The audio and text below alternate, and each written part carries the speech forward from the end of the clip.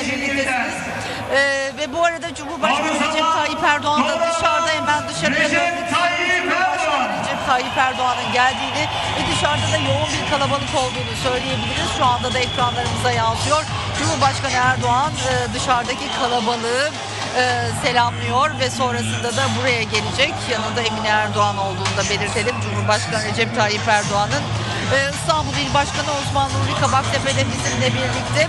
E, ona söz veremeyeceğim. Cumhurbaşkanı Recep Tayyip Erdoğan Böyle anlamlı bir günde özellikle beyannamemizi, bildirimizi açıklayacağımız bir günde sizlerle bir arada olmanın mutluluğu içerisindeyiz.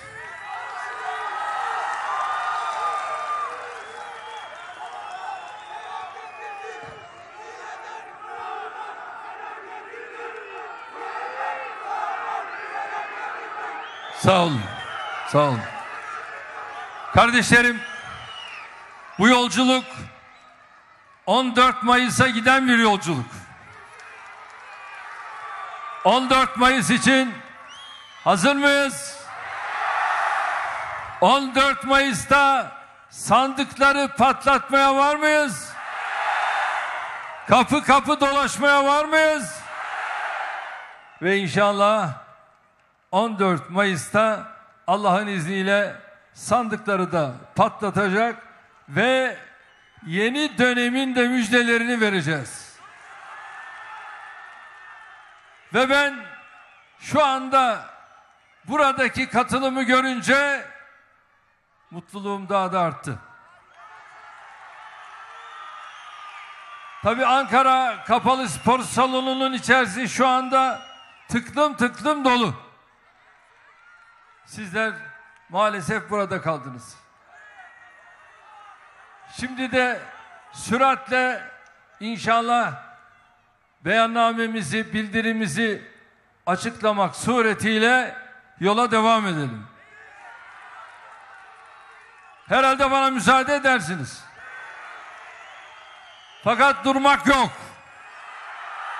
Yola o kadar ve gerek ana kademi, gerek kadın kolları, gerek gençler olarak gümbür gümbür 14 Mayıs'a ilerliyoruz. Rabbim yar yardımcımız olsun. Şöyle bir kaldıralım ellerimize. Tek millet, tek bayrak, tek vatan, tek devlet. Bir olacağız. İri olacağız. Diri olacağız. Kardeş olacağız. Hep birlikte Türkiye olacağız. Sağ olun. Var olun. İşte geleceğin Türkiye'si, Türkiye'nin geleceği için bizleri koyalım lütfen. Cumhurbaşkanı Recep Tayyip Erdoğan, Emine Erdoğan'la birlikte önce dışarıda e, vatandaşları selamlamıştı. E, bir bir arasında şu anda da salona girdiğini söyleyebiliriz. Cumhurbaşkanı Erdoğan ve Emine Erdoğan'ın e, Abdülkadir Emin Gönen e, tabii ki siz de kürsüye çıkacaksınız. Kürsüde de e, Pekin Büyükelçiliğinden sonra kürsüde de şu anda e, Cumhurbaşkanı tanıtımından sonra siz de orada bir e, bulunacaksınız. Ama şu anda ekranlarımıza yansıyor. Cumhurbaşkanı Recep Tayyip Erdoğan, Emine Erdoğan'la birlikte salona girdi. AK Parti'nin seçim beyannamesinin bugün açıklanacağını söyleyelim. Seçim beyannamesine dikkat çekici unsurlar var. Türkiye'nin 100. yılında atıfta bulunan 23 başlık olacağını söyleyeyim. Şu anda da ekranlarımıza yansıyor. Hem Cumhurbaşkanı Recep Tayyip Erdoğan hem de 600 milletvekili adayının da şu anda orada arkamızda olduğunu görüyorsunuz. Şu anda da sizin ekranlarınıza yansıdığını söyleyelim. Salonun da dışarısının da arenanın dışının da içinin de dolu olduğunu aktarmamızda fayda var. Ee, az sonra Cumhurbaşkanı Recep Tayyip Erdoğan salonu selamladıktan sonra da e, bir film gösterisinde olacağını belirtelim. Sonra da Yücel Arzen'in e, koro ile birlikte bir şarkı seslendireceğini belirtelim. Hemen e, virgül koymuştum. Ee, ne bilmiş e, cümlelerinizi alabilir miyim? Yani e, şunu söylüyordum ben Türkiye'de siyaset dönüştü, siyasi alan dönüştü. Bundan dolayı da bütün siyasi partiler halkın geniş seçimle geniş kesimlerini dikkate alarak siyaset üretiyorlar. İşte ittifaklar var, siyasal partiler var. Bunları görüyoruz. Mesela bugün Türkiye'de hiçbir siyasi parti e, başörtüsünün açıktan tekrar kamuda yasak olmasını savunamaz. Ya da farklı çıkar gruplarını, farklı vesayet gruplarından medet umamaz. Bu Türkiye'de siyasetin dönüştüğünü gösteriyor. Yani özellikle son 20 yıllık dönemde gerçekten e, bir taraftan AK Parti toplumu ve siyaseti dönüştürürken aynı zamanda kendisi de dönüştü ama diğer taraftan da diğer siyasi partileri de dönüşüme zorladı. Bence bugün gelinen e, bu süreçte işte bugün bir e, vizyon e, açıklayacak, bir seçim beyannamesi açıklayacak. Seçim beyannamesinde özellikle bu 21 yıllık süreçteki siyasetin, toplumun dönüşen ihtiyaçlarına göre siyaset üretiminin ne demek olduğunu, aynı zamanda Türkiye'de demokratikleşme, özgürlük, e, adalet alanlarında hem bugüne kadar yapılanlar hem bundan sonraki de atılacak adımlarla ilgili geniş çerçeveler e, göreceğimizi ben bekliyorum. Bir de şu var tabii 21 yıllık bir parti için e, yapılanlar önemli. O yapılanların içerisinde çok geniş bir listenin olacağını görmemiz lazım. Ama öbür taraftan da Cumhuriyet'in 100. yılı için sonuçta yeni bir vizyon ortaya koyması gerekiyor. Yani bundan önce 2023'e yönelik olarak vizyon koymuştu. Onların birçoğunun gerçekleştirdiğini bugün açıklayacaktır. Ama öbür taraftan da ileriye yönelik olarak da yeni bir vizyon koyacaktır. Bu Cumhuriyet'in 100. yılında da bu e, vizyonun başlıklarını biz bugün göreceğiz. Sayın Önen Cumhurbaşkanı Recep Tayyip Erdoğan yerine oturdu. Program başlamadan önce sizin son cümlelerinizi Son olarak, alabilir evet, miyim? tabii, çok kısa hemen başlığının toparlayalım. altına siz nasıl Çok dolduracaksınız? e, şunu söyleyelim. Muhalefetin bugün e, erken seçim iddiasıyla son 5 yıldır e, yaptıklarını görüyoruz ve erken seçim diye diye aslında kendi parti tabanlarını bile yanılttığını görüyoruz. Çünkü erken seçim diyenler adaylarını bile normal seçim süreci yaklaştığında dahi zor belli ettiler. Ve bugün büyük iddialarla kurulan partilerin logolarını dahi kullanamadan seçim listelerine girdiğini görüyoruz. O yüzden eğer bu doğruluk dediniz ya doğruluk dürüstlük burada hiçbir yerde göremediğimiz çok net. Biz hazırız. 2023 Türkiye yüzyılı inşallah e, buradan bugün beyannameyle beraber çıkacağız yola. Sağ olun. Çok teşekkür ederiz Abdülkadir Emin Gönen bizimle birlikte oldunuz. Şanlıurfa ikinci sıradasınız siz de Pekin Büyükelçiliğinden sonra siz de e, bu kez yeniden farklı bir yolda devam edeceksiniz. Sağ olun. Teşekkürler bizimle birlikte teşekkür olduğunuz ederim, için. çok sağ olun. Şu anda da az sonra da program başlıyor. Evet. Saygı duruşu.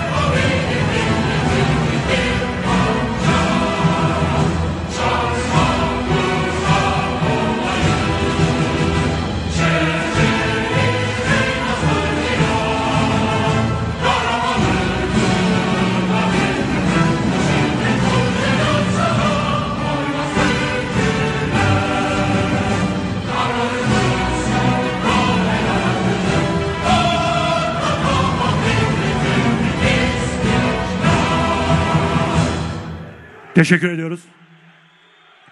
Sayın Cumhurbaşkanım, değerli konuklar, şimdi programımız için hazırlanmış olan filmimizi hep birlikte izliyoruz efendim.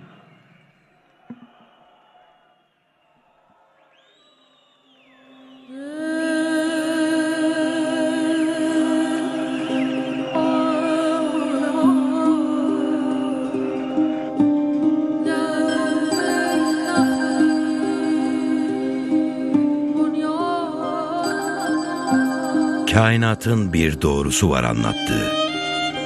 Mucizevi özellikleri, dengesi ve muhteşem güzellikleri.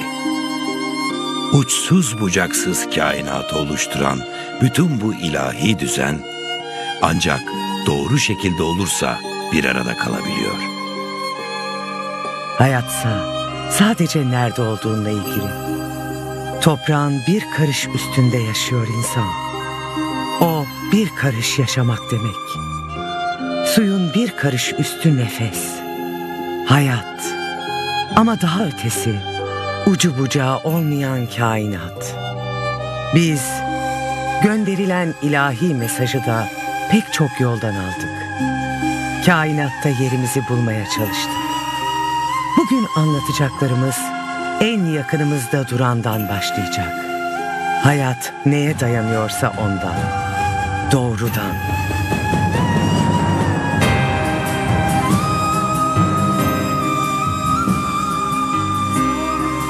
Çünkü bu muhteşem düzenin içinde insan olarak tek yapabileceğimiz kendi terazimizde doğruyu tartabilmek ve ne yaparsak yapalım onu doğru yapabilmek.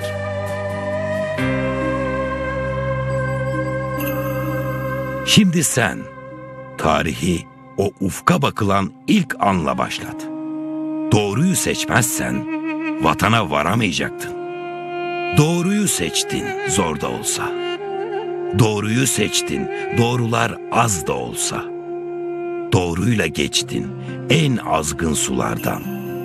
Doğruyla geçtin en ıssız yollardan.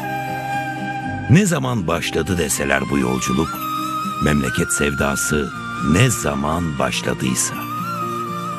Pusluyken hava, karlarda ve ayazlarda, sağanak yağmurlarla ve yakıcı güneşlerde hatta. Karanlıkta biraz, seher vakti ya da. Yol var mıydı peki gidilecek? Yol yapılır. Önemli olan istikamet. Memleket toprağı bu yürünen, uğruna mücadele edilen. Dakikayı bile boş geçirmeden memleket derdi bu dertlenilen. Suyuna, havasına, insanına gönül verilen. Bunun için gelecek sen demek. Her adımında doğruyla yola devam etmek. Nasıl da kavuşuyorsun şimdi en doğudan batıya. Ne felaketler geçti dünden, yeniden ve yeniden. Ama bil ki çok ileridesin yola çıktığın günden. Ne zaman başladı deseler bu yolculuk. Hatırlamaz belki genç olan ama dinler. Soracaksan onlara sor, en iyi onlar hatırlar. Kurdukları hain düzeni yıkanı sana gösterecekler. Bu yolda sen kalbinleysen görürsün. Kazanmakmış, kaybetmekmiş boş. Yalnız sevdanı düşünürsün.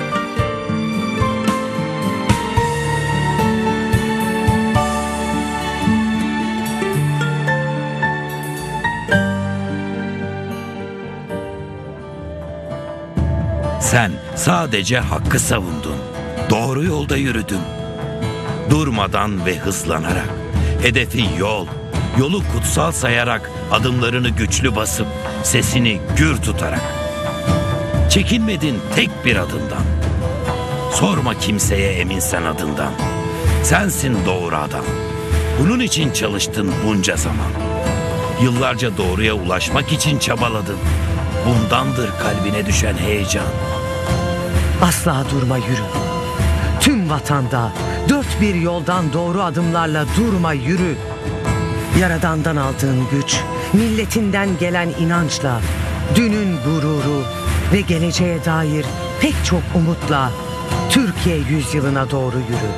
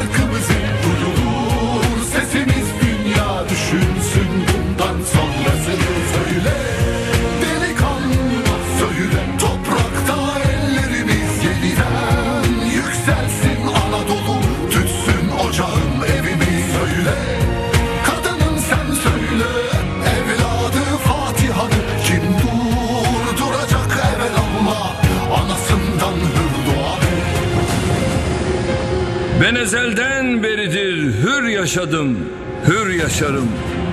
Hangi çılgın bana zincir vuracakmış şaşarım. Kükremiş sel gibiyim, bendimi çiğner aşarım. Yırtarım dağları, enginlere sığmam taşarım. Şafak yağmurları bereket olsun yurdumuza Yükselsin Anadolu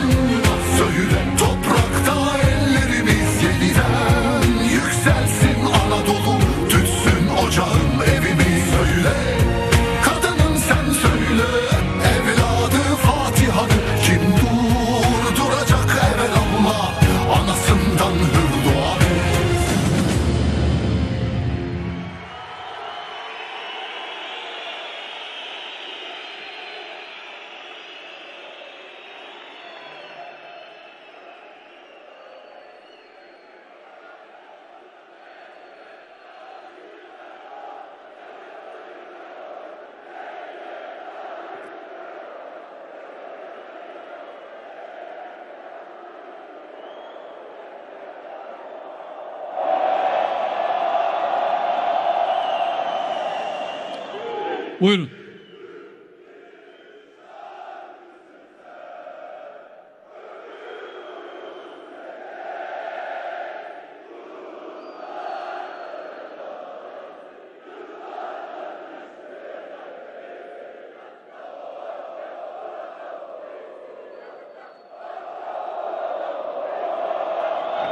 Aziz milletim, Cumhur İttifakımızın saygıdeğer temsilcileri, AK Partimizin değerli milletvekili adayları, kıymetli basın mensuplarımız, değerli kardeşlerim, sizleri en kalbi duygularımla, hürmetle, muhabbetle selamlıyorum.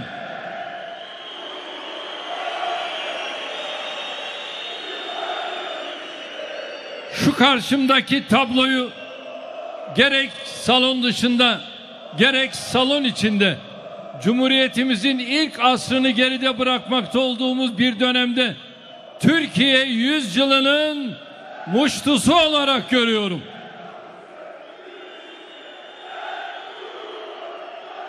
Sevginiz, coşkunuz, ahde vefanız ülkemize ve milletimize hizmet için çarpan kalpleriniz, dosta güven veren, düşmana korku salan aslan yürekleriniz için her birinize ayrı ayrı şükranlarımı sunuyorum.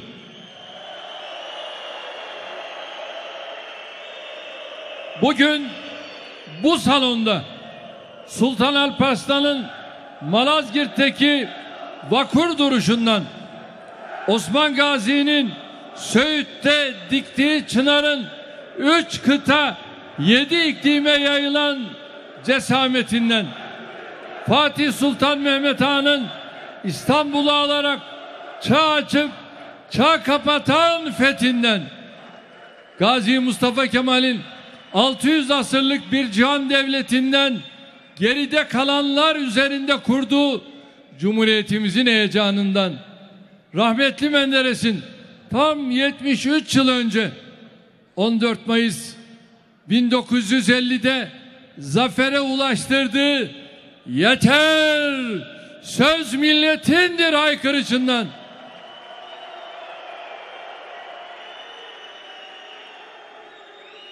Rahmetli Özal'ın Türkiye'ye çağ atlatma azminden rahmetli Erbakan'ın önce ahlak ve maneviyat ilkesi üzerine kurduğu sanayi ve teknoloji hamlesi hayalinden rahmetli Türkeş'in Türk dünyasının birliği ve Türk devletinin ebed müddet ayakta kalması uğrunda verdiği mücadeleden, rahmetli Muhsin Yazıcıoğlu'nun ömrü boyunca vatanını sevmenin çilesini çekerken sergilediği asil duruşundan,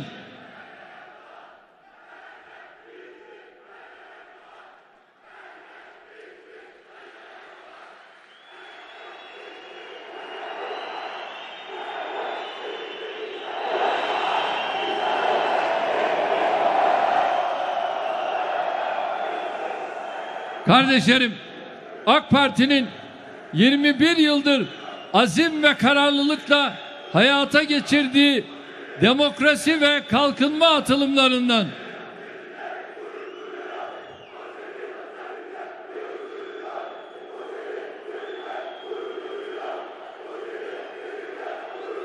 Kocaeli ben de sizlerle gurur duyuyorum. 14 Mayıs Kocaeli'nde ne diyor? Eh, evelallah. Kocaeli'nde sandıklar patlayacak mı? Tüm Türkiye'de 14 Mayıs'ta sandıklar patlayacak mı? Eyvallah. Velhasıl ilhamını bu topraklara, bu millete dair hayırlı olan ne varsa ondan alan siz dava ve yol arkadaşlarımla birlikte olmaktan şeref duyuyorum. Allah'ın izniyle yine bir 14 Mayıs arifesinde 1950'deki inanç ve iradeyle bir kez daha yeter söz milletindir demek yeter sözde kararda gelecekte milletindir demek için biz bir aradayız. Bizim yeter dememiz Bay Bay Kemal'in yeter demesine benzemez.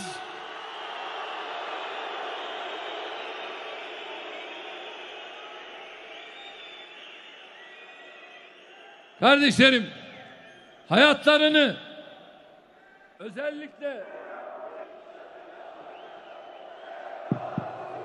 hayatlarını bu mücadeleye adamış milletin adamlarının kiminin sonu dar ağacında bitmiş olsa da yüreklerde yaktıkları hak, hukuk, özgürlük, kalkınma ateşi hiç sönmedi. Darbeciler süngüleriyle bu ateşi söndürmeyi başaramadı.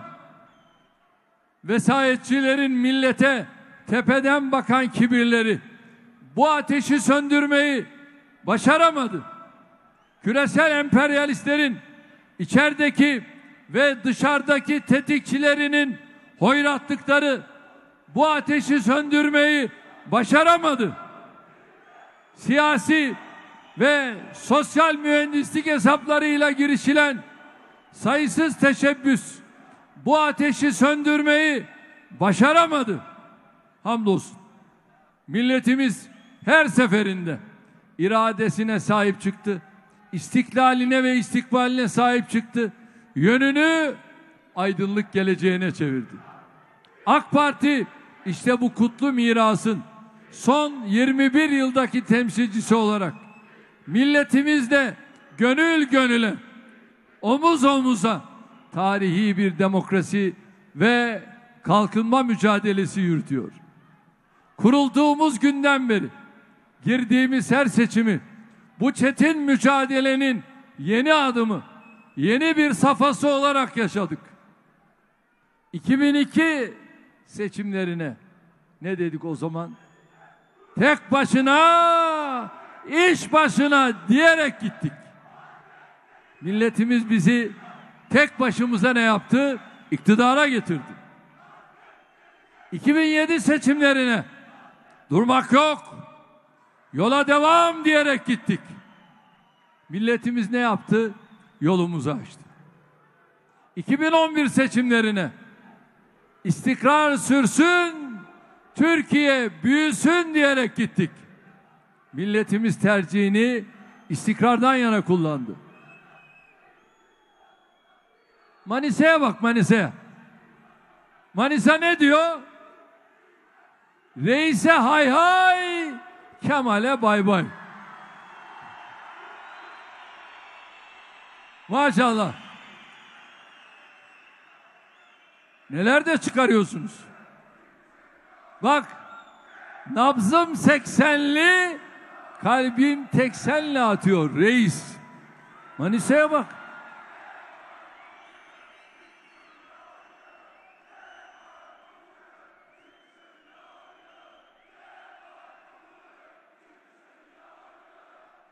...2015 seçimlerine...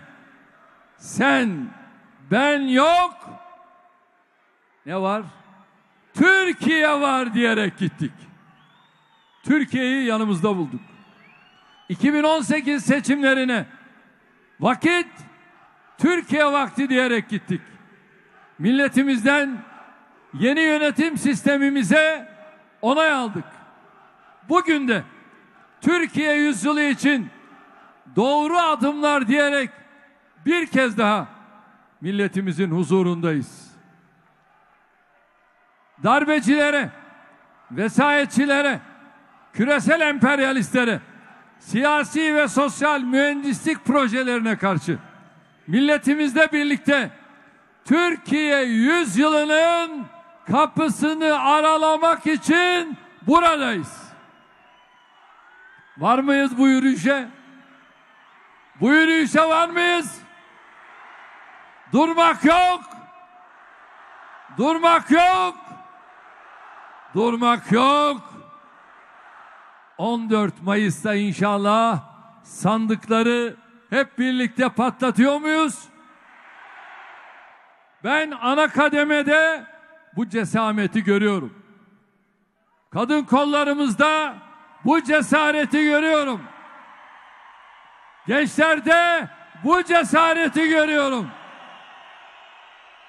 Sağ olun, var olun. Ve inşallah AK Parti'nin 14 Mayıs'ta milletimizin huzuruna çıkacak kadrosu olarak ahdimizi yenilemek için bir aradayız.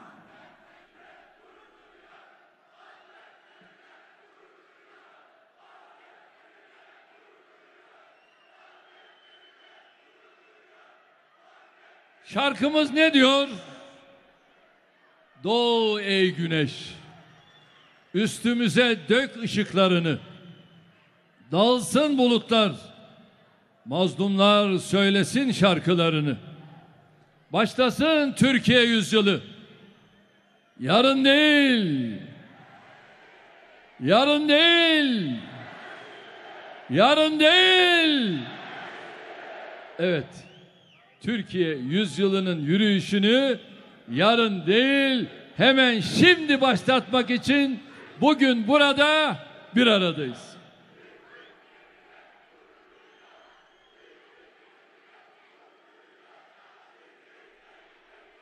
İzmir bu defa 14 Mayıs farklı olması lazım ha. İzmir bu defa ben inanıyorum ki sandıklardan bir başka çıkacak.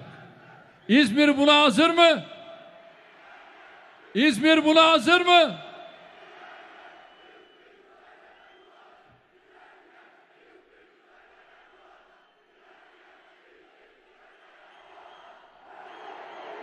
O zaman İzmir şunu söyleyelim. Şunu söyleyelim. Hazır mısınız? Hazır mısınız? Doğru zaman İzmir için hiç gecikmeden hemen şimdi hemen şimdi bu defa İzmir'de bunu göreceğiz.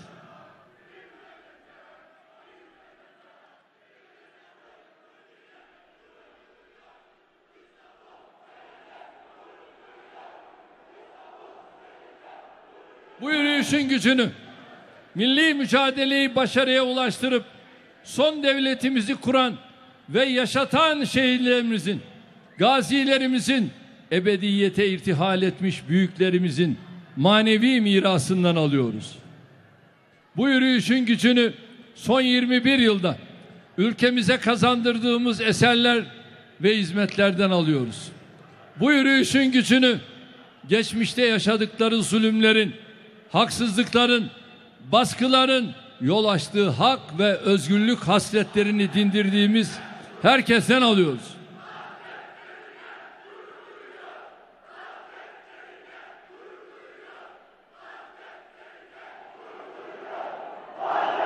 Antep, Gazi'yi unutuyorsunuz ha. Gaziantep hep birlikte kendisinden gurur kunduğumun bir şehir. Ve Gaziantep'le sanayide büyük adımlar attık, büyük adımlar atıyoruz.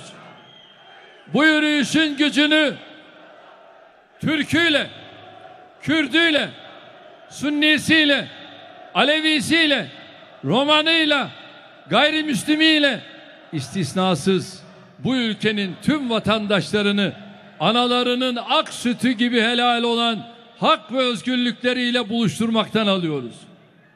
Türkiye yüzyılı sadece bizim değil. İslam aleminden Türk dünyasına, Balkanlardan Kafkaslara, Asya'dan Afrika'ya tüm dostlarımızın, tüm insanlığın ortak vizyonudur. Kardeşlerim, bakın ben size buradan bir mesaj veriyorum. Şu anda 14 Mayıs'ı siz zannediyor musunuz? Sadece Türkiye takip ediyor. Hayır. Tüm İslam dünyası 14 Mayıs'ı takip ediyor. Ve 14 Mayıs seçimlerinde ne olacak? Bunu takip ediyorlar. Ve İslam dünyasının bu heyecanını ben inanıyorum ki bu kadro aynen paylaşacak.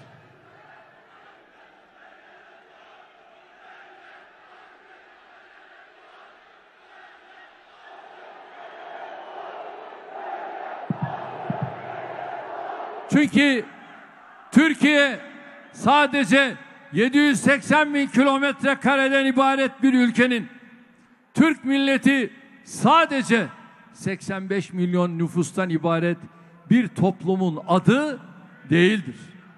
Kalbi bizimle atan her kardeşimiz bu ülkenin ve bu milletin bir parçasıdır. Rabbim kazamızı mübarek eylesin. Rabbim yolumuzu açık eylesin. Rabbim zaferimizi kutlu eylesin.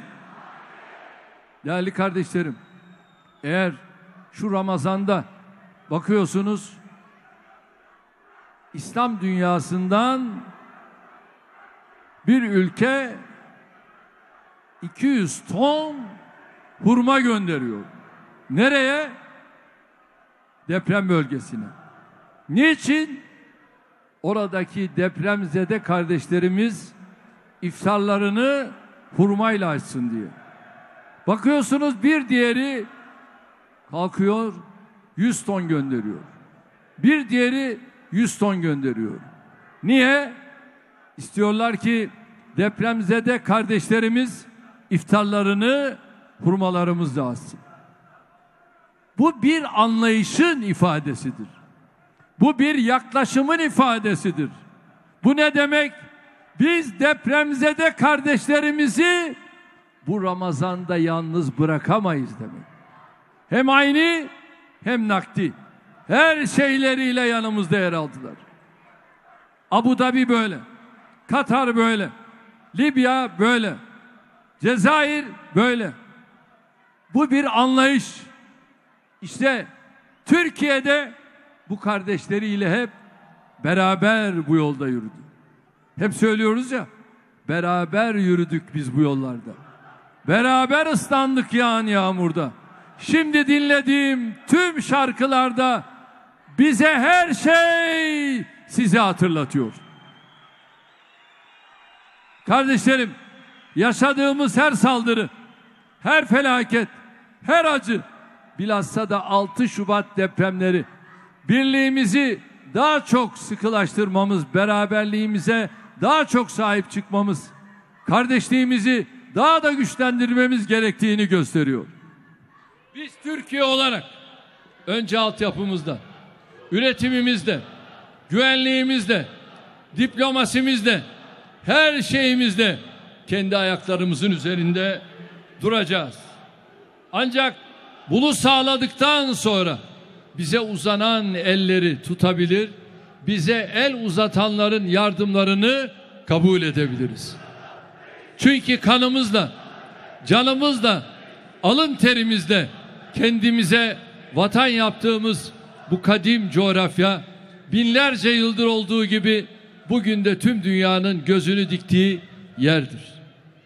Bu coğrafyada huzurla yaşamanın, devlet kurmanın, gelecek inşa etmenin bedeli güçlü olmak ve güçlü kalmaktır. Binlerce yıldır üzerine nice başarılar inşa ettiğimiz milli hasletlerimizin ve devlet geleneğimizin gereği olan duruşta budur.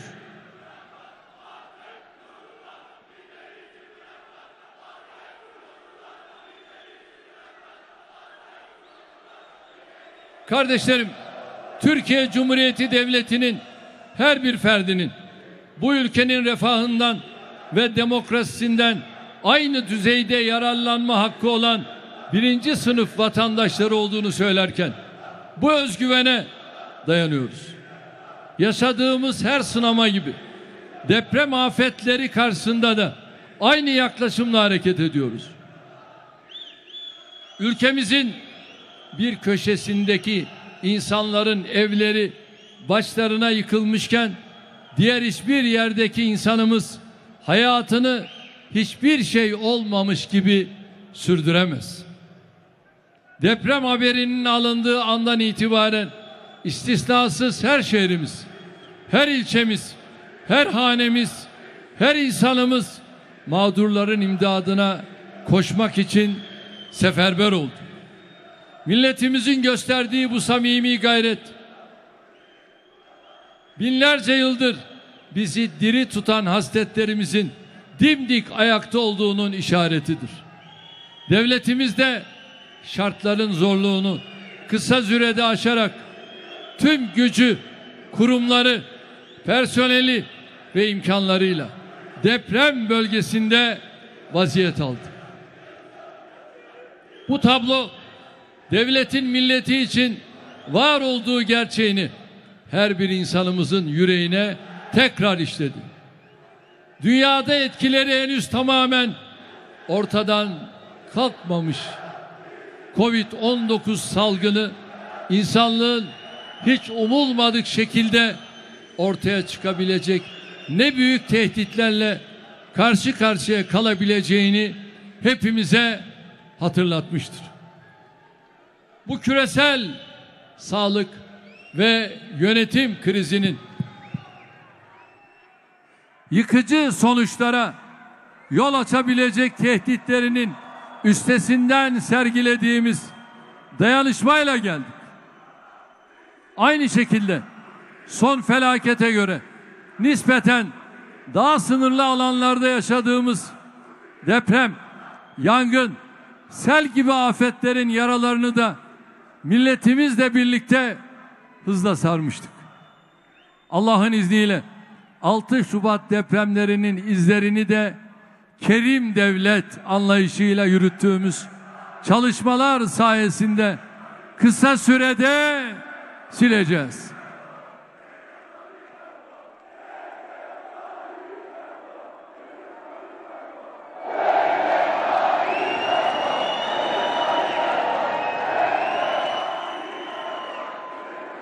AK Parti olarak karşılaştığımız her meseleyi önce insan bakışıyla değerlendiriyor, hareket tarzımızı ona göre belirliyoruz.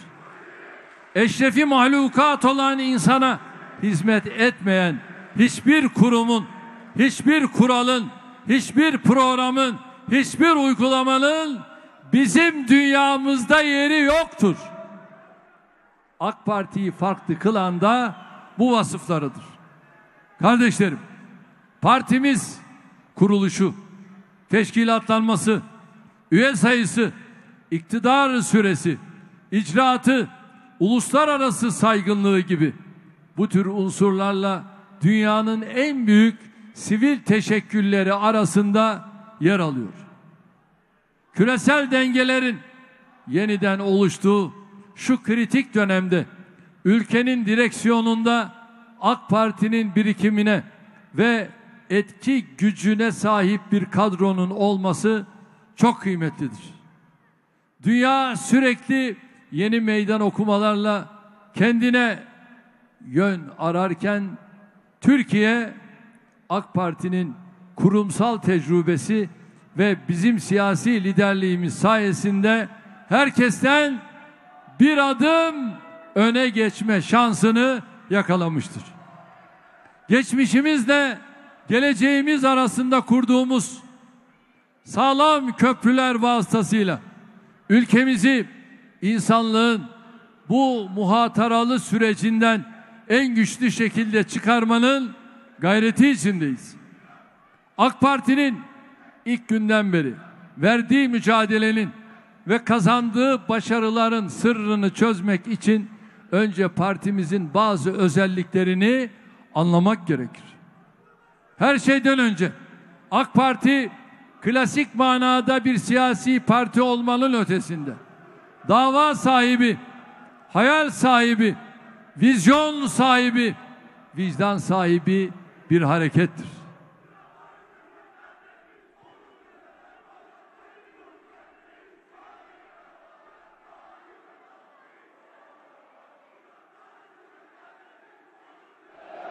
Gençler, Türkiye yüzyılı için Türkiye yüzyılı için gerisi gelmiyor bak. Türkiye yüzyılı için hemen şimdi. Tamam. Buna hazır mıyız? Öyleyse yola devam. Doğru zaman. Tamam. Partimiz bu vasfıyla milletimizin son iki asırdır süren arayışında en önemli toplanma yeri, en önemli adresi olmuştur. Şu anda üyesi itibariyle yaklaşık 12 milyon üyeye sahip bir başka parti Türkiye'de yok. Dünyada da yok. Türkiye'nin demokrasi ve kalkınması konusundaki çözüm tekliflerimizin dünyada yaşanan siyasi ve sosyal çarpıklıklara karşı yükselttiğimiz itirazlarımızın insanlığın ortak dertlerinin ve taleplerinin sözcülüğünü yapabilmemizin kısacası bizi diğerlerinden ayıran özelliklerimizin gerisinde temsilcisi olduğumuz davanın kadim kodları var. Biz Türkiye'de sadece okul, hastane, yol, baraj gibi eserlerle sembolleşen bir kalkınma devrimi yapmakla kalmadık. Geçen akşam bir televizyon kanalında bir prof ne dese beğenirsiniz. Prof ha. Ne dese beğenirsiniz. Köprü yapmakla, baraj yapmakla, hava limanları yapmakla bu iş çözülmez. Soğan, patates kaç para onu söyle. Bu adam profesör. Düşünün. Yani barajın yok. Yolun yok. Havalimanın yok. Bütün bunlarla beraber TOG'un yok. Uçak gemin yok. Domates, patates kaç para onu söyle. Ya bu adam prof. Müsvedde bu. Öncelikle senin profesörlüğünden bu millete ne gelir ya? Hiç. Önce bir ülkenin kalkınması için nelere ihtiyaç var? Bunu söyle.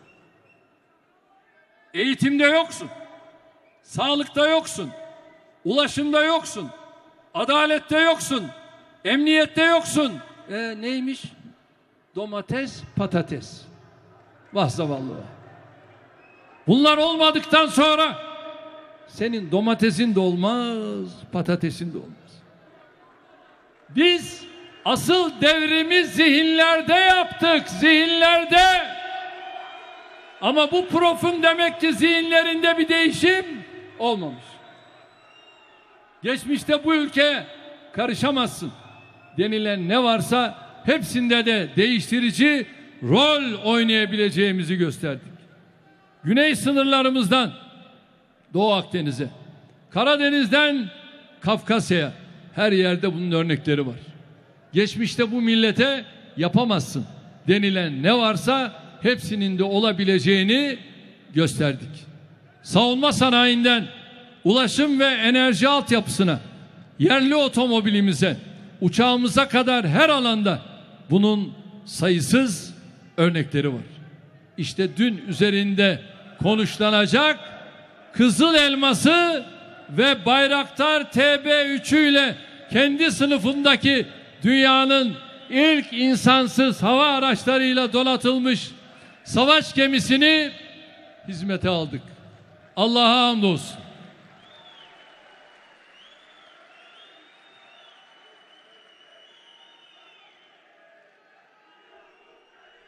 Geçmişte bu coğrafyada teşebbüs edilemez denilen ne varsa hepsinin de gerçekleşebileceğini gösterdik.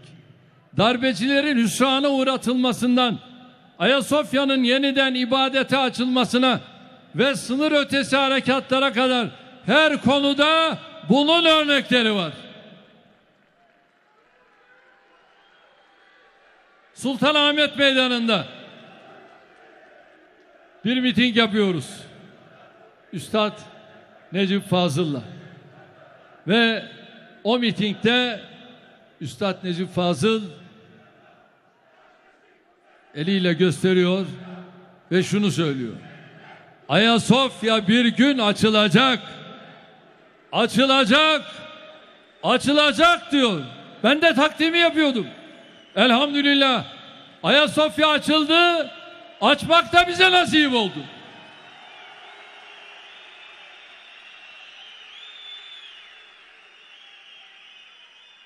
Büyük ve güçlü Türkiye'ye doğru giden her adımı zihinlerde örülmüş duvarları yıkarak kalplere salınan korkuları yenerek ayaklara vurulan prangaları kırarak attık.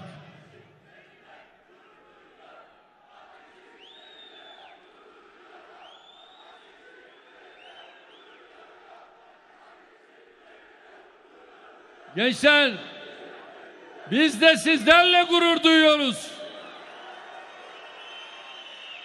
Bağcılar geçen günü Bağcılar'da bir açılış töreni yaptık. Aman ya Rabbi. O gün Bağcılar'da 40 bin kişi vardı. Ve ardından dün evvelsi gün Pendik'te bir açılış töreni yaptık. 60 bin kişi vardı. Gümbür gümbür şu anda İstanbul nereye yürüyor? Sandığa yürüyor. Geldiğimiz noktada Türkiye'nin siyasi ve ekonomik esaret çukuruna yeniden yuvarlanmamak için güçlü olmaktan, güçlü kalmaktan, gücünü artırmaktan başka çaresi yoktur. Üstelik buna sadece bizim değil, güvenlik ve tabiat tehditleri sebebiyle giderek dengesizleşen dünyanın da ihtiyacı var. Bu sebeple dünya beşten büyüktür itirazımıza her geçen yıl destek daha fazla büyüyor. Bu sebeple Rusya-Ukrayna savaşında her iki tarafla da görüşebiliyor. Tahıl koridoru ve esir değişimi gibi somut ilerlemeler sağlayabiliyor. Barış ihtimalini masada tutabiliyoruz. Bu sebeple Libya'dan Karabağ pek çok yerde tüm dünyanın seyrettiği haksızlıkların düzeltilmesi için fiilen sahaya inip netice alabiliyoruz.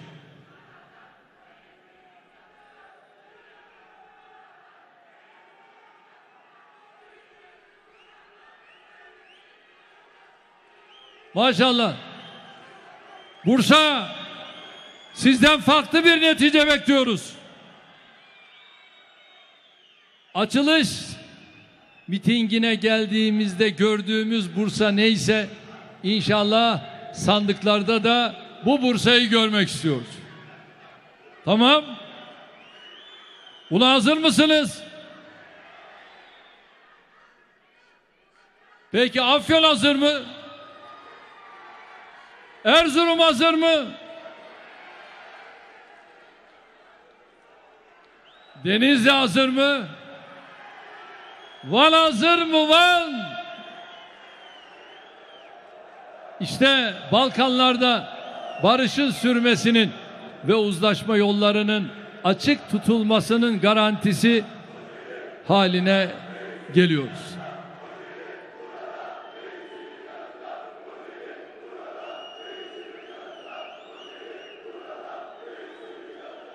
Bu sebeple herkesin sırtını döndüğü mazlumlara kol kanat gerebiliyoruz. Himaye edebiliyoruz. Bu sebeple Türk Devletleri Teşkilatı gibi stratejik adımlar atabiliyor. İslam alemiyle işbirliğimizi kimseden icazet almadan güçlendirebiliyoruz. Bu sebeple Batı dünyasıyla ilişkilerimizde teslimiyetçi değil, hakkımızı, hukukumuzu savunan dik bir duruş sergileyebiliyoruz. Sömürge ve zulüm üzerinde kurduğu güvenlik ve refah düzenini korumak için diğer toplumları asırlardır etnik ve inanç fay hatları üzerinden kontrol eden Batı artık kendi derdine düşmüş durumda. Batı'nın durumu iyi değil. Vay haline.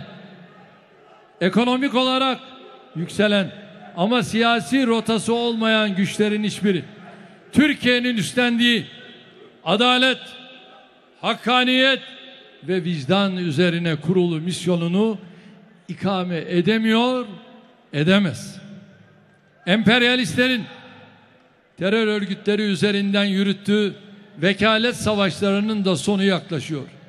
Eğer Türkiye'nin ve 21 yıldır onun yönetiminde olan AK Parti'nin bir davası, bir vizyonu olmasaydı tüm bunları soruyorum kardeşlerim konuşabilir miydik? Birileri gibi ne işimiz var Karabağ'da? Libya'da, Suriye'de, Balkanlarda, Akdeniz'de, Afrika'da deseydik birileri gibi bu kadar yolu, barajı, elektriği, suyu, aracı, konutu ne yapacaksınız? O profesör gibi deseydik bu kadar konutu toprağa mı gömeceksiniz deseydik birileri gibi herkese duymak istediğini söylesek ama vesayetin darbecilerin terör örgütlerinin koltuğunun altından kalkmasaydık kısacası karşımızdakiler gibi olsaydık burada milletimizin huzuruna alnımız ak başımız dik bir şekilde çıkabilir miydik? İnşallah önümüzdeki dönemde ülkemizi ve milletimizi dünyada hak ettiği yere getireceğiz. Böylece coğrafyamızın ve medeniyetimizin iki asırlık hüznünü asırlar boyunca sürecek sevince dönüştürme şerefine de nail olacağız. Değerli kardeşlerim, görüldüğü gibi tarihin seyri bize AK Parti'nin sadece dünün ve bugünün değil, yarının da partisi olduğunu gösteriyor. Hep söylediğimiz gibi kökü mazide olan ati AK Parti'nin gelecek tasavvuru geçmişindeki eser ve hizmetlerin üzerine kuruludur. Mersin buna hazır mısınız? Hazır mısınız?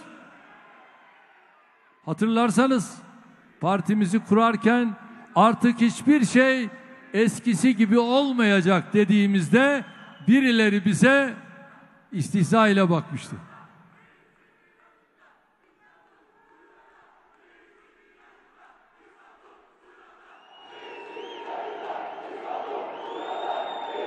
Evet ben de sizlerin yanındayım. Unutmayın. Doğru zaman, doğru adam, doğru karar. Türkiye yüzyılı için hemen şimdi. Yine hatırlarsanız bundan 12 yıl önce 2023 hedeflerimizi açıkladığımızda birileri yine bize dudak bükmüştü. Bizim 2023 hedefleriyle 12 yıl sonrasına kadar uzanan program ve proje yapabilmemizi akılları almayanlar 2053 ve 2071 vizyonlarımızı duyunca tümden zıvanadan çıkmıştı. Ülkemizi doğrudan işgal hareketi olarak gördüğümüz 15 Temmuz darbe girişiminin ardından yönetim sistemimizi değiştirecek tarihi bir reformu hayata geçirdiğimizde de aynı tepkiyle karşılaştık.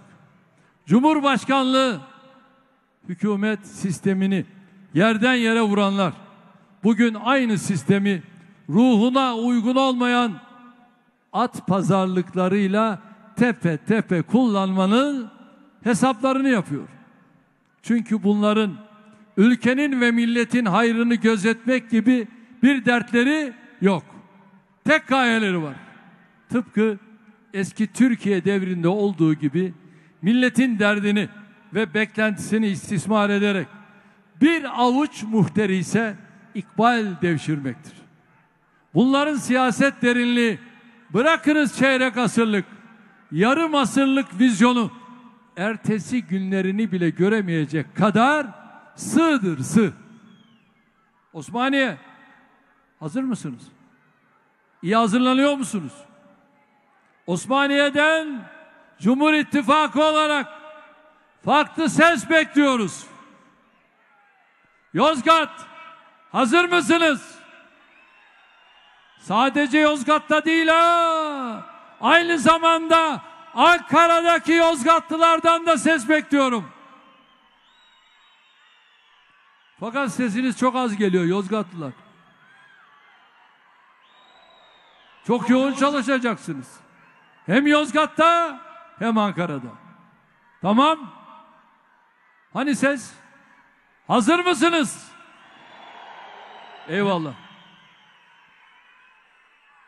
Elazığ ne alemdeyiz?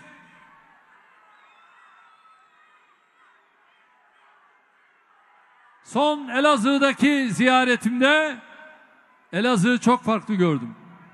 Çok güçlü gördüm. Malum o depremden sonra yaptığımız konutlarla Elazığ bir başka güzel olmuş. Öyle mi?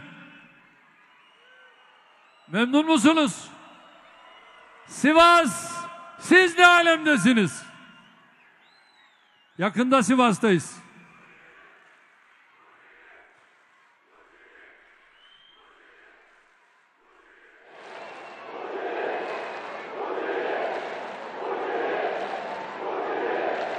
Kocaeli.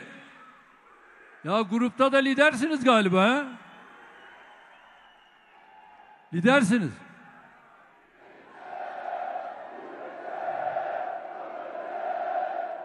Belli oluyor.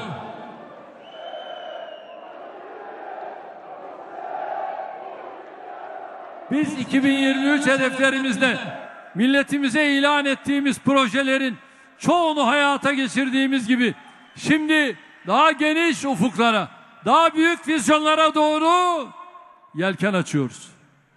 İşte bunun için AK Parti geleceğin partisidir diyoruz. İşte bunun için Cumhur İttifakı bir ilkeler ve mefkureler ittifakıdır diyoruz. Hiçbir ayrım olmaksızın milletimizin her bir ferdinin bu aydınlık gelecekte yeri vardır. Çünkü AK Parti herhangi bir sınıfın hele hele yıllarca kendini seçkin bir yerde görerek milleti aşağılayan kerameti kendinden menkul zümrelerin değil 85 milyonun tamamının hayallerinin ortak paydasıdır. Bugüne kadar hangi partiye oy verirse versin her bir vatandaşımızı AK Parti'nin tabii bir mensubu olarak sayıyoruz.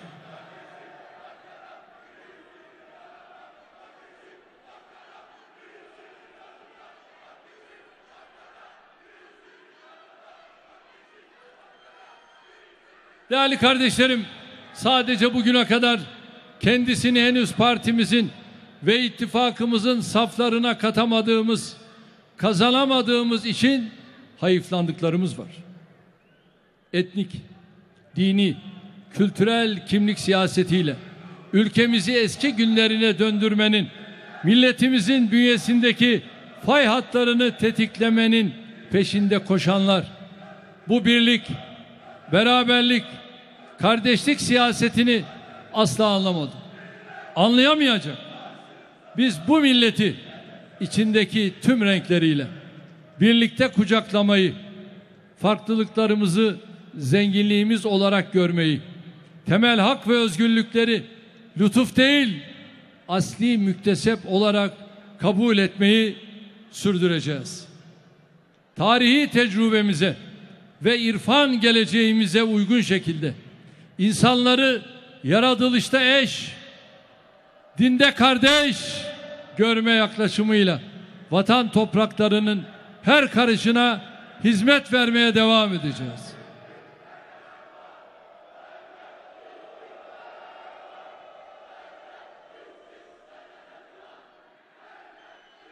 Siyasete başladığımız günden beri vesayet odaklarıyla çarpışa çarpışa yürüdüğümüz bu yoldan milim sapmadan hep daha ileriye gitmenin mücadelesini vereceğiz.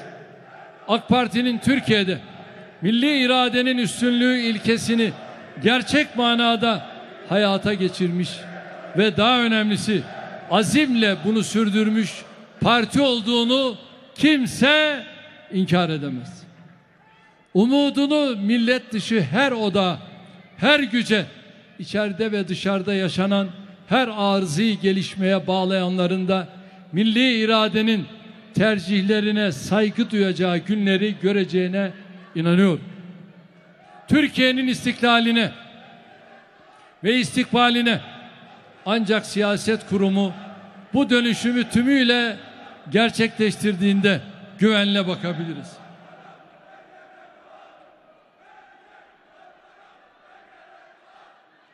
Aksi takdirde iktidarı vesayet güçlerinde arayan faşist zihniyet bitmez. Darbecilerin karşısına dikilmek yerine onlara alkış tutan demokrasi düşmanları bitmez. Terör örgütlerinin temsilcileriyle kapalı kapılar ardında pazarlık yapan muhterisler bitmez. Bay Bay Kemal niçin HDP'nin genel merkezine değil de parlamentoda gidip bunlarla görüşmeyi yaptı. Acaba o kapalı kapılar arkasında ne görüştüler? Bunları açıklayabildi mi? Hayır. Devletin güvenlik güçlerinin canları pahasına yakalayıp yargısının cezaevine tıktığı teröristleri serbest bırakma sözü veren alçaklar bitmez. Ülkesini yabancılara şikayet eden, yatırım yapmamaları, yaptırım uygulamaları çağrısında bulunan idrak yoksunları bitmez. Daha önce de defalarca ifade ettiğim gibi biz 21 yılda Türkiye'yi her alanda ileriye götürdük. Ama muhalefeti yerinden zerre miskal kıpırdatamadık. Hatta zihniyet ve kalibre bakımından daha da geriye giden bir muhalefetle karşı karşıyayız. İnşallah 14 Mayıs seçimlerinin en hayırlı neticelerinden biri de ülkemiz muhalefetini bu alacak karanlık kuşağından çıkarmak olacaktır. Cumhur İttifakı olarak biz seçimlere gece gündüz çalışarak milletimizin gönlünü kazanmadık hiçbir ferdini bırakmayacağız. Gelmeyene gideceğiz. Küskünü barıştıracağız. Sevmeyeni sevdireceğiz. Her eve, her iş yerine gireceğiz. Kalbini kazanmadık kimse bırakmayacağız. Kararsızları ikna edeceğiz. Zaten gönlünde olduklarımızı ihmal etmeyeceğiz. Hiç kimseyi atlamadan teker teker herkese dokunacağız. Siyasetin sokakta yapıldığını, seçimin sandıkta kazanıldığını asla unutmayacağız. Her seçimin önemli olduğunu ama 14 Mayıs'ın bu milletin tüm evlatlarının geleceğini şekillendireceğini aklımızdan çıkarmayacağız. Bunun için sizlerden seçim gününe kadar geçecek her anı değerlendirmenizi, seçim günü sandığı da namusumuz olarak görmenizi istiyorum.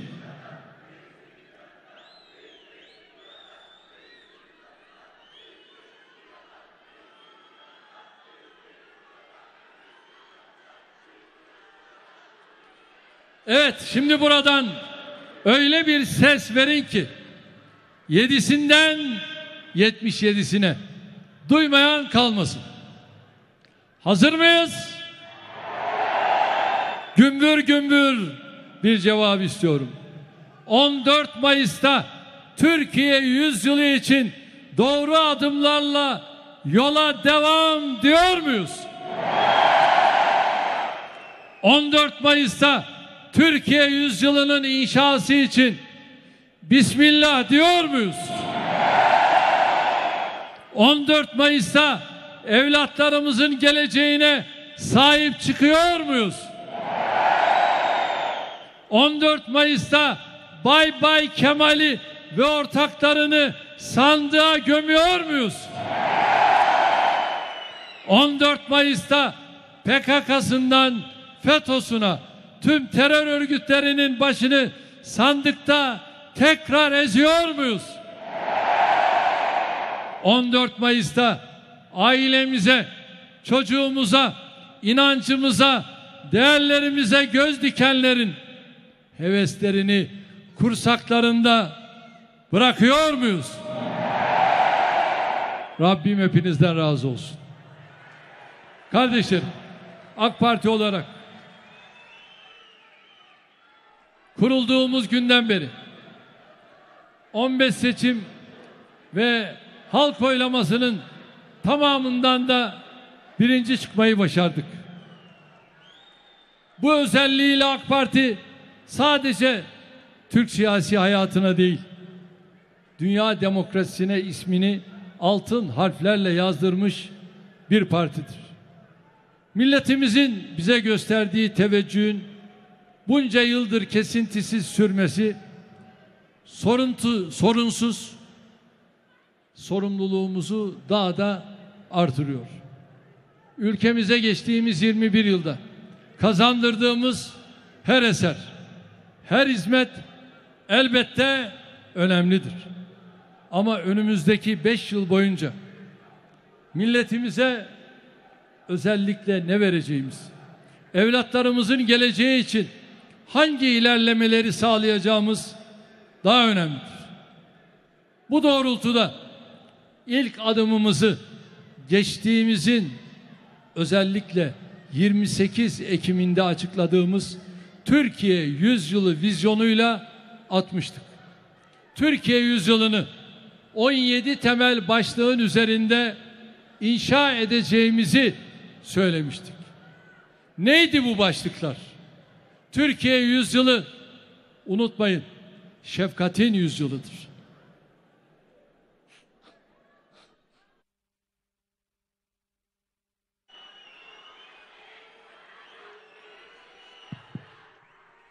Türkiye yüzyılı üretimin yüzyılıdır. Türkiye yüzyılı verimliliğin yüzyılıdır. Türkiye yüzyılı istikrarın yüzyılıdır. Türkiye yüzyılı kalkınmanın yüzyılıdır. Türkiye yüzyılı sürdürülebilirliğin yüzyılıdır. Türkiye yüzyılı huzurun yüzyılıdır. Türkiye yüzyılı iletişimin yüzyılıdır. Türkiye yüzyılı istikbalin yüzyılıdır. Türkiye yüzyılı gücün yüzyılıdır. Türkiye yüzyılı haklının yüzyılıdır. Türkiye yüzyılı değerlerin yüzyılıdır. Türkiye yüzyılı dijitalin yüzyılıdır. Türkiye yüzyılı gençliğin yüzyılıdır. Türkiye yüzyılı barışın yüzyılıdır. Türkiye yüzyılı başarının yüzyılıdır. Türkiye yüzyılı bilimin yüzyılıdır. Velhasıl seçim beyannamemizi de işte bu temeller üzerinde ne yaptık? Şekillendirdik. Seçim beyannamemizde altı ayrı bölüm üzerine onlarca başlık ve binlerce maddede hem ülkemize kazandırdığımız eser ve hizmetlerin özeti hem de Türkiye yüzyılı hedeflerimiz yer alıyor. Türkiye yüzyılı için doğru adımlar yaklaşımıyla hazırladığımız oldukça hacimli bir esere dönüşen beyannamemizde yer alan tüm hususları burada tekrarlamayacağım. Beyannamemiz kitap olarak sizlere ulaştırıldı veya ulaştırılıyor. Dijital mecralar vasıtasıyla da milletimizde paylaşıldı. Burada sadece kısa hatırlatmalarla yetinerek asıl işi hep birlikte evlerde, sokaklarda, mahallelerde insanımızla ruberu yüz yüze yapacağımız çalışmalara bırakmak istiyorum. Bugüne kadar iletimize ve milletimize yapmayacağımız, yapamayacağımız hiçbir şeyi söylemedik. Söylediğimiz hiçbir şeyden de geri dönmedik. Meydanlarda ağzına geleni söyleyip iş başına gelince hepsini unutanların, inkar edenlerin, tersine yapanların, vaatlerinin üzerine beton dökenlerin ülkemize ne büyük zararlar verdiğini biliyoruz.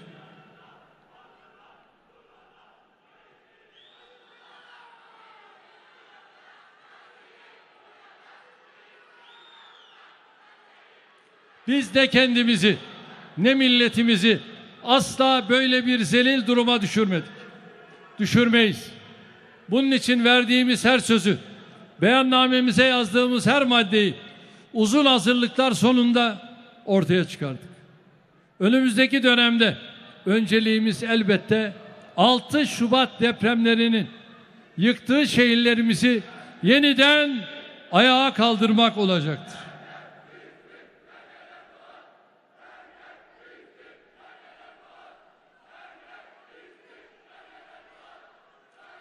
Allah'ın izniyle 319 bini bir yılda teslim edilecek şekilde toplam 650 bin yeni konut yaparak afetin 11 ilimizde ve mücavirinde açtığı yaraları tamamen saracağız. Türkiye Ulusal Risk Kalkanı modeliyle ülkemizin 81 ilinin tamamını afetlere dirençli şehirler haline dönüştüreceğiz. Vatandaşımızın can ve mal güvenliği bizim için her şeyin önünde gelir. Bütüncül risk yönetimiyle ülkemizi sadece depreme karşı değil, her türlü afete, felakete, tehdide karşı tüm boyutlarıyla hazırlayacağız. Değerli kardeşlerim, varlığımızın teminatı olan değerlerimizi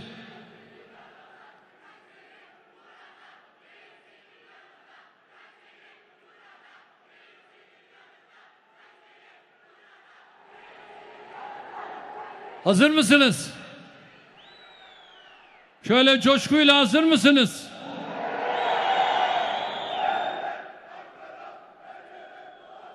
Hazır mıyız? Tek millet. Az değil mi bu ses ya? Tek millet. Güzel. Tek bayrak. Tek vatan. Tek devlet. Bir olacağız. İri olacağız. Diri olacağız.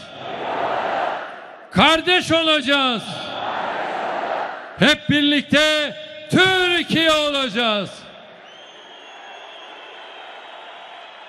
İşte bu ilkeler etrafında insanımızın refahı, huzuru ve mutluluğunun evreni diğer çalışmalarımızın temeli olarak görüyoruz. Biliyorsunuz 2002 yılında iktidara gelirken ülkemizi eğitim, sağlık, emniyet ve adalet üzerinde yükselteceğimizi söylemiştik. Eğitimde okulundan öğretmenine, üniversitesinden yurduna tüm unsurlarıyla güçlü bir altyapı kurduk. Şimdi bu altyapı üzerinde değerler eğitiminin esas olduğu bir anlayışla kaliteyi artıracak çalışmalara yöneliyoruz. Bu çerçevede çocuklarımızın yeteneklerinin eğitimin ilk kademelerinden itibaren keşfedilerek becerilerine uygun yönlendirmeyi sağlayacak bir sistem kuracağız. Sağlıkta hastaneleriyle, personeliyle, genel sağlık sigortasıyla, hizmete erişimin kolaylığıyla dünyaya örnek olan bir seviyeye geldik. Salgın ve deprem döneminde bu güçlü sağlık sisteminin işlerliğini hep beraber tecrübe ettik, gördük, hakkını verdik. İstanbul'umuzda Çam Sakura Hastanemizi kurduk. Ve 45 günde Murat Dilmeler Hastanesi'ni Yeşilköy Havalimanı'nda kurduk. Sancaktepe'de yine 45 günde Pakize Öz Hastanesi'ni kurduk. Bay Bay Kemal, biz bunları yaparken sen neredeydin ya? Ne yaptınız siz? Hani sizin bu büyükşehir belediyeleriniz vardı. Tuttunuz çadırların içerisinde güya sahra hastaneleri kurdunuz. Kimi aldatıyorsunuz ya?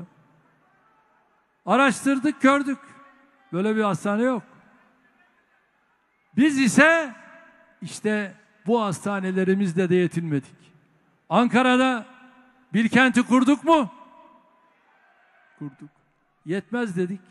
Ve hemen ikinci bir evet dev hastaneyi şehir hastanesini yine Ankara'mızda kurduk. Bütün bunlar ne için? Bütün bunlar halkımız için, insanımız için. Çünkü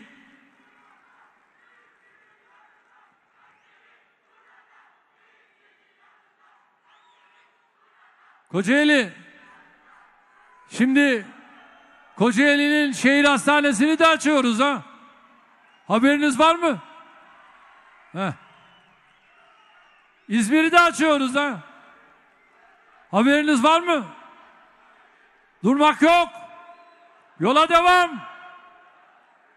Ve yeni dönemde ülkemizin ilaç ve tıbbi sektörlerindeki geliştirme ve üretim kapasitesini artırarak savunma sanayindekine benzer bir atılımı hayata geçireceğiz. Aile sağlığı, aile diş hekimliği, evde bakım, palyatif bakım gibi hizmetleri ülke satında güçlendireceğiz. Sağlık turizminde dönem sonunda 3 milyon misafir ve 10 milyar dolar gelir hedefliyoruz. İktidarlarımız döneminde ülkemize sağladığımız kazanımların en başında her bir vatandaşımızın huzurla evinde oturacağı, işini yapacağı, çocuğunu okuluna göndereceği güvenli Türkiye iklimi geliyor. Terör örgütlerinin başını sınırlarımız dışında bile ezerek, suç çetelerine göz açtırmayarak, asayişten taviz vermeyerek, insanlarımızın geleceklerine güvenle bakabilmelerini temin ettik. Dünyanın ve bölgemizin yaşadığı sınamaların giderek ağırlaştığı bir dönemde önleyici güvenlik çalışmalarıyla Türkiye'nin huzur ve güvenlik adası olarak istikrarla yoluna devam etmesini sağlayacağız. Partimize de adını verdiğimiz adaletin tüm kurum ve kurallarıyla vicdanları mutmain edecek şekilde tecellisi için büyük mücadele verdi. Vesayetin ve FETÖ'cü hainlerin tasallutundan kurtardığımız adalet sistemimizi, fiziki imkanlarını ve insan kaynağını geliştirdik. Türkiye yüzyılının anahtarı olarak gördüğümüz yeni sivil anayasa sözümüzü tutmak, bunun içinde çalışmayı sürdüreceğiz. Hukuk devletimizi güçlendirecek, bu reformları kesintisiz devam ettirecek, kapsamlı bir yasama reformu için uzlaşma zeminini özellikle arayacağız. Yüksek standartlı demokrasi için dönüştürücü reformlar ve koruyucu reformlar döneminden tamamlayıcı reformlar dönemine geçeceğiz. Bugüne kadar olduğu gibi bundan sonra da toplumumuzun hiçbir kesimine hayat biçimi ve kimlik dayatılmasına asla izin vermeyeceğiz.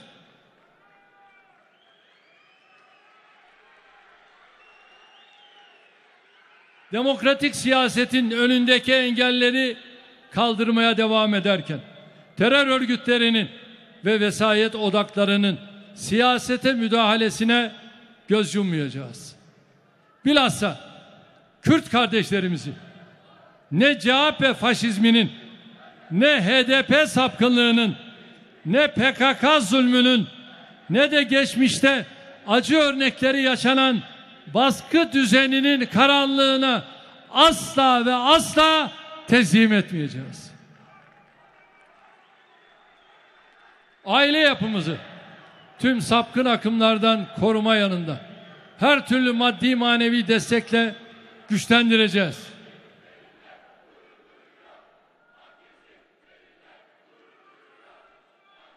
Hayata geçireceğimiz gelir tamamlayıcı aile destek sistemiyle hiçbir hanenin gelirinin belirli bir seviyenin altına düşmemesini temin edeceğiz.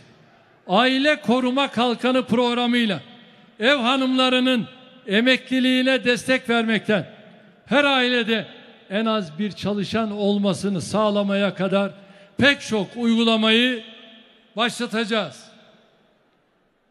Gençlerimizi aile kurmaya teşvik etmek için eğitiminden istihdamına, evliliğinden çocuk bakımına kadar her alanda kendilerine maddi katkı vereceğiz. Bu hedeflere ulaşmak için kaynağı ülkemizin kendi ürettiği doğal gaz ve petrol gelirlerinden sağlanacak bir aile ve gençlik bankası kuracağız.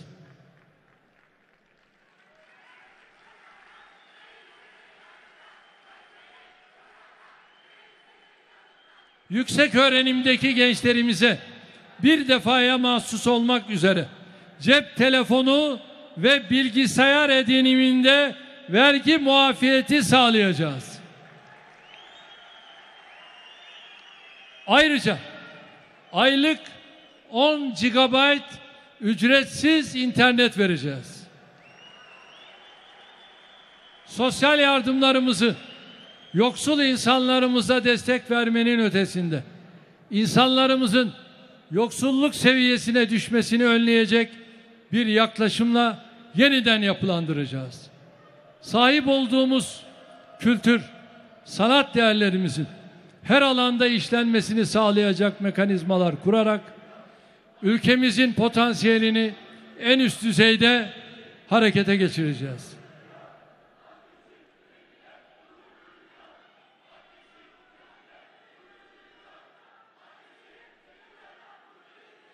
Ekonomimizi yatırım, istihdam, üretim, ihracat ve cari fazla yoluyla büyütmeyi sürdüreceğiz. Enflasyonu yeniden tek haneli rakamlara düşürerek ülkemizi bu sorundan mutlaka kurtaracağız. Memurundan emeklisine, ve işçisine kadar çalışanlarımızın ücretlerini daima enflasyonun üzerinde artırarak refah düzeylerini yükselteceğiz. Turizmde 90 milyon turist ve 100 milyar dolar turizm geliri hedefiyle yatırımı ve tanıtımı hızlandıracağız.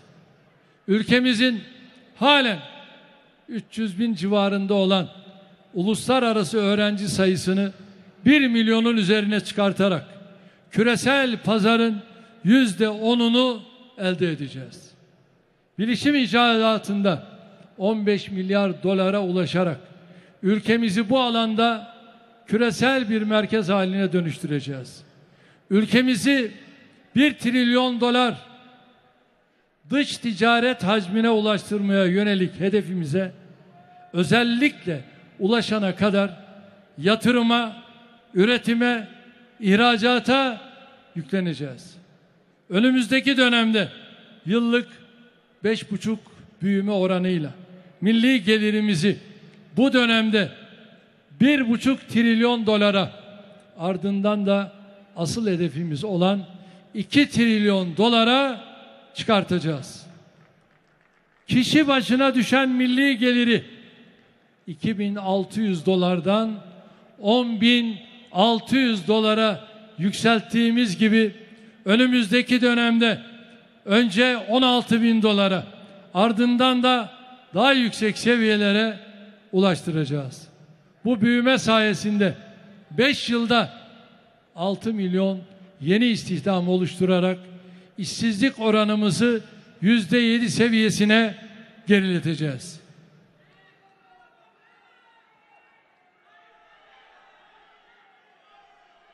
Kadın ve genç istihdamına özel önem vermeyi sürdüreceğiz. Kamuya işe alımları görevin getirdiği zorunluluklar dışında mülakatı kaldırarak gençlerimizin sınavlardaki başarı sıralamasına göre yapacağız. Girişimcilerimize verdiğimiz destekle ülkemizden en kısa sürede 15 adet milyar dolar ve 5 adet 10 milyar dolar değerinde şirket çıkmasını sağlayacağız. Üretimin tabana yayılmasında çok önemli görev ifa eden KOBİ'lerimizi büyüyen ekonomimizin lokomotifleri olarak finansmandan istihdama her alanda daha güçlü şekilde destekleyeceğiz. Bugüne kadar hassasiyetle devam ettirdiğimiz bütçe disiplininden önümüzdeki dönemde de taviz vermeyeceğiz. Tasarım ve kriptoloji altyapısını kurduğumuz yeni nesil dijital Türk lirası projemizi hayata geçireceğiz. Değerli kardeşlerim, kalkınmanın temel altyapısı olan enerjideki atılımlarımızı kesintisiz sürdüreceğiz. Yerli ve yenilenebilir enerji yatırımlarımızla önümüzdeki dönemin sonunda enerji ithalatımızı yarıya düşüreceğiz. Karadeniz doğalgazının ve Akkuyu nükleer güç santralinin tam kapasite devreye girmesi ülkemizin enerji bağımsızlığında unutmayın bir milat olacaktır. Elektrikte halen 100 gigawatt olan kurulu gücümüzü 136 gigawata yükselteceğiz. Doğal gaz kullanamayan ilçemiz kalmamasını temin edeceğiz. Milletimize en çok eser kazandırdığımız alanlardan biri olan ulaşımda otoyol ve bölünmüş yol projelerimiz ile havalimanı inşaatlarımızı tamamlarken yeni dönemde ağırlığı raylı sistemlere vereceğiz. Bakıyorum, bakıyorum. 2053 vizyonumuz çerçevesinde hızlı tren hattımızı 13.400 kilometre toplam demir yolu ağımızı 600 kilometreye ulaştırmayı hedefliyoruz. Bu çerçevede önümüzdeki dönemde halen inşası süren hızlı demiryolu hatlarına ilave olarak yeni projelerin yapımına da başlayacağız. Ülkemizin Ankara, Kırıkkale, Yozgat, Sivas hattının da açılmasıyla 11 ili birbirine hızlı tren ağıyla bağlı hale getiriyoruz. İzmir-Ankara hattı başta olmak üzere tüm projelerimizi tamamladığımızda bu sayıyı 52'ye çıkartacağız. Ayrıca Ankara-İstanbul arasında süper hızlı tren hattı kuracağız. Tekirdağ, Mersin, İskenderun ve Kocaeli'nde yapacağımız yeni limanlarla lojistik gücümüzü artıracağız. Çok modlu kuzey, güney ve doğu batı ulaşım koridorlarıyla yatırımın ve üretimin ülkenin her köşesine yayılmasını sağlayacağız. Kanal İstanbul'un bağlantı yolları ve altyapı çalışmalarının yapımını sürdüreceğiz. Önümüzdeki dönem internette 5G teknolojisinin nüfusumuzun tamamı tarafından kullanılabilmesini temin edecek altyapıyı kuracak 6G teknolojisinin hazırlıklarına başlayacağız. Dünyanın en büyük 10 uydu operatöründen biri haline getirdiğimiz Türkiye'nin uzaydaki gücünü daha da artıracağız. Küresel rekabet ve küresel yenilik endekslerindeki yerimizi daha da yukarılara taşıyacağız. Ben de sizi seviyorum. Ülkemizi kritik teknolojilerin pazarı değil, üreticisi yapacak milli teknoloji hamlemizi kesintisiz sürdüreceğiz. Milli gururumuz TOG'un üretime ve satışa başlamasıyla duyduğumuz sevinci önümüzdeki 7 yılda 1 milyon aracı yollarda görmemizi temin ederek daha da güçlendireceğiz. Elektrikli araç şarj altyapısını ilk etapta 142 megawatt gücüne çıkartarak bu yöndeki yatırımları ülke genelinde destekleyeceğiz. Tarımsal üretimin geliştirilmesini sadece ekonomik değil, milli bir mesele olarak görüyoruz. Bunun için önümüzdeki dönemde bitkisel üretimi 132 milyon tona, su ürünleri üretimini 750 bin tona çıkaracak adımları atacağız. Üretim güvenliği amacıyla sertifikalı tohum, fide ve fidan üretimlerini artıracağız. Ekonomik ömrünü tamamlamış çaylıklarımızı daha nitelikli çeşitlerle yenileyeceğiz. Arazi toplulaştırma çalışmalarında 100 milyon dekara çıkarak vakit, enerji, alet ve ekipman kullanımında verimliliği artıracağız. Ülkemizin şartlarına uygun bir üretim planlamasıyla hem verimi hem çiftçilerimizin gelirini yükseltecek bir sistem kuracağız. Su depolama hacmimizi 193 milyar metreküpe çıkartarak 80 milyon dekar araziyi sulayacak 37 bin megawatt enerji üretecek hale geleceğiz. Mera, yaylak ve kışlak alanları ıslah ederek hayvancılığımızı destekleyeceğiz. Dönem sonunda büyükbaş hayvan varlığımızı 19 milyona, küçükbaş hayvan varlığımızı 68 milyona çıkartarak vatandaşlarımızın ekonomik fiyatlarla ete erişimini kolaylaştıracağız. Orman alanlarımızı topraklarımızın yüzde otuzunun üzerine verimli orman alanı miktarını da 14,5 milyon hektara ulaştıracağız. Yeşil kalkınma hedeflerimizde ülkemizin doğal kaynaklarını bize uluslararası alanda da avantaj kazandıracak şekilde sürdürülebilir bir anlayışla değerlendireceğiz.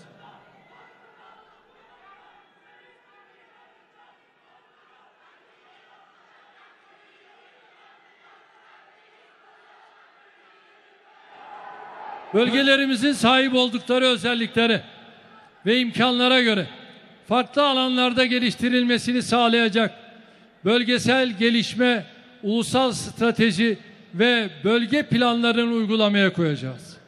Bu yaklaşımla bölgelerimizi ülke ekonomisi ve sosyal hayatıyla bütünleştirecek şekilde kalkınma planları yapacağız. Dünyaya model olarak sunduğumuz insani ve vicdani dış politikamızı istikrar, denge ve atılım hedefleriyle girişimci, etkin ve sonuç alıcı bir şekilde geliştirmeyi sürdüreceğiz. Hem ülkemizin hem bölgemizin hem insanlığın huzur ve istikrar bulacağı bir dış politikayla çok taraflılık, daha fazla işbirliği, barış, istikrar ve insani diplomasiyle Türkiye eksenini inşa edeceğiz. Son 5 yıldaki uygulama tecrübesine ve değişen ihtiyaçlara göre Cumhurbaşkanlığı hükümet sistemini restore ederek Türkiye 100 yılı hedeflerimize daha fazla katkı verecek şekilde geliştireceğiz. Değerli kardeşlerim, dününü beraber inşa etmiştik. Yarınını da birlikte inşa edeceğiz. Milletimizin hiçbir kesimi yok ki AK Parti'nin hizmet siyaseti hayatına dokunmamış, hayatını olumlu yönde değiştirmemiş olsun. Vatan topraklarının tek bir karışı yok ki AK Parti'nin eser siyasetinden nasibini almamış olsun. Kadını ve erkeğiyle, genci ve yaşlısıyla her vatandaşımıza geçmişten bugüne asırlık hizmetler sunduk. Sizlerin nezdinde ülkemizdeki tüm hanım kardeşlerime soruyorum. Evinizde, işinizde, sokakta, evladınızın okulunda, sevdiklerinizin hayatında 20 yılda hangi değişimleri gerçekleştirdiğimizi biliyorsunuz değil mi?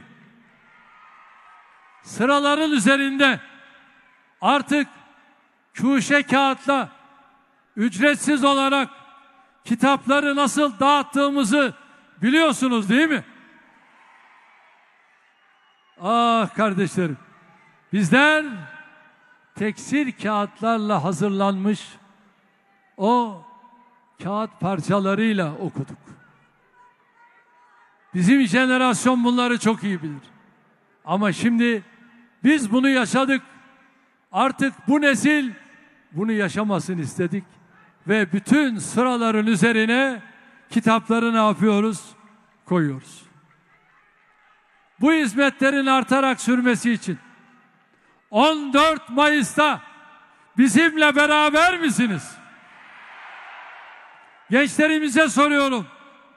Eski Türkiye'yi yaşamamış olsanız da ülkemizi dünyada nereden nereye getirdiğimizi, sizlerin geleceğinde nasıl ufuklar açtığımızı biliyorsunuz değil mi?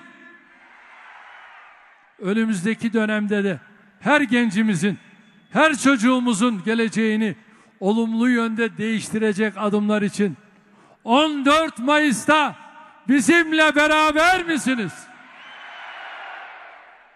Engellilerimize soruyorum. Evlerinizin dört duvarı arasına mahkum edilen sizleri istihdamdan spora ve sanata kadar her alanda destekleyerek hayatın içine katan projelerin hepsinin de altında bizim imzamızın olduğunu biliyorsunuz değil mi? Tüm bu hizmetlerin artarak sürmesi için 14 Mayıs'ta bizimle beraber misiniz? Şimdi emeklerimize soruyorum. En düşük emekli maaşını kaçtan almıştık? 66 liradan almıştık. Hatırlayın. 7500 liraya çıkardığımızı bayramlarda ikramiye verdiğimizi biliyorsunuz değil mi? Ömürlerini aileleri ve ülkeleri için çalışmaya adamış emeklilerimizin ikinci barlarını en güzel şekilde sürdürmeleri için gereken ilave destekleri de kendilerine yine biz verebiliriz. Biz işte şimdi de ikramiyeyi de 2000 lira olarak açıkladık mı? Açıkladık. Bunun için emekli kardeşlerime sesleniyorum. 14 Mayıs'ta bizimle beraber misiniz? Yurt dışında yaşayan vatandaşlarıma sesleniyorum.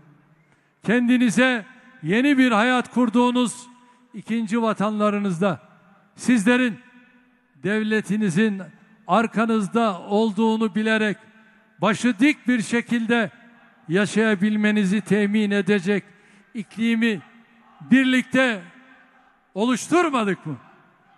Başınızın tekrar yere eğilmemesi için 14 Mayıs'ta bizimle beraber misiniz?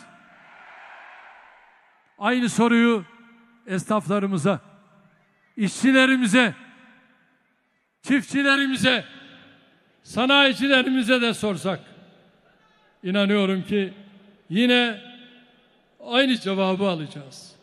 Her alanda üretimi desteklerken hem istihdamı güçlendirmek hem ihracatı artırmak böylece ülkemizin gücüne güç katmak niyetiyle hareket ettik. Elbette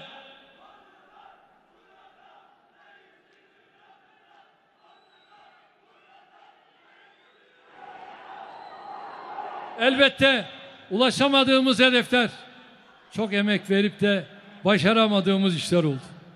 Sizler şahitsiniz ki 21 yılda yaptıklarımız bile ülkemizin asırlık eksiklerini, ihtiyaçlarını, kayıplarını telafi etmeye yetmiştir. Ama biz bunları yeterli görmüyoruz. Milletimizin daha fazlasına layık olduğuna inanıyor. Bunun için daha çok çalışmamız gerektiğini biliyoruz. Önümüzdeki seçimlerde milletimizden desteği kendi statükomuzu tahkim etmek için değil, daha büyük reformlar yapmak, daha büyük devrimler gerçekleştirmek, daha çok eser ve hizmet getirmek için istiyoruz.